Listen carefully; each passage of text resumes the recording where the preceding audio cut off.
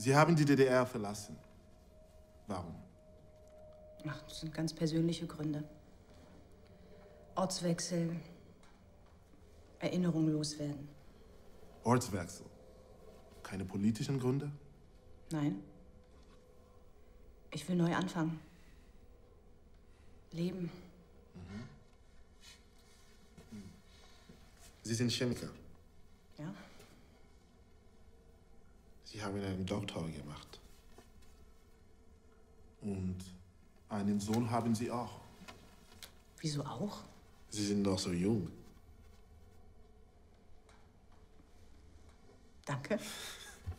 Was haben Sie geforscht? Naja, die letzten zwei Jahre habe ich auf dem Friedhof gearbeitet. Sie haben Ihren Job bei der Akademie der Wissenschaften verloren. Ja, fast jeder mit einem Ausreiseantrag verliert seine Arbeit. Das ist normal. Sie verteidigen das System?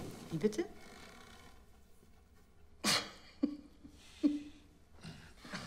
手游